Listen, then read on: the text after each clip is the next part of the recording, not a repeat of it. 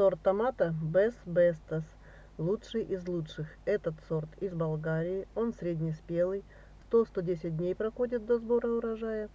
Сорт сверхурожайный. Плоды красного цвета массой от 200 до 600 грамм. Вот такие вот овально-грушевидной формы с небольшими ребрышками. Очень толстая оболочка, мясистые, сладкие и сочные. Высота куста метр шестьдесят, метр восемьдесят. Можно выращивать в два стебля. Хорошая урожайность у этого сорта в любых погодных условиях. Плодоносит он до самых заморозков. Этот сорт также стрессоустойчив и устойчив к основным заболеваниям томата. Вот так выглядит сорт в разрезе. Розово-красная мякоть, толстая стеночка у этого томата. Он многокамерный, семян не очень много. По вкусу томат сладкий и сочный.